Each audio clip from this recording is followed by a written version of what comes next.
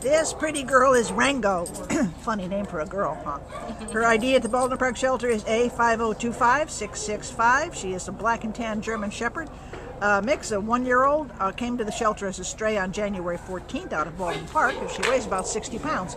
And there's all kinds of things going on here that you're interested in. so distracted. Yeah. This way, what can, she's, well, you're so pretty. What can you tell us about her?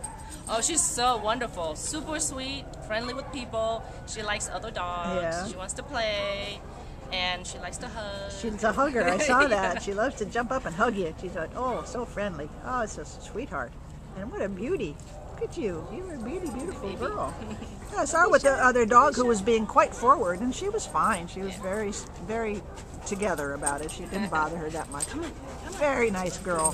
she's very, uh, she's very young. She's practically a puppy at a year old. So she's got all the training ahead of her.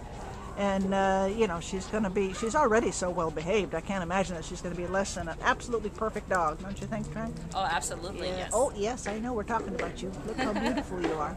Please come on down if this is your kind of dog. If you're in the, in the market for a German Shepherd, you couldn't do much better than this girl. She's really pretty and very sweet, and I'm sure very trainable because she's a young gal, and she seems to pay attention to, to her handler. So, she, well, as soon as I said that, you looked away. That was not good advertising. There you go. Here you are, you go, sweetheart.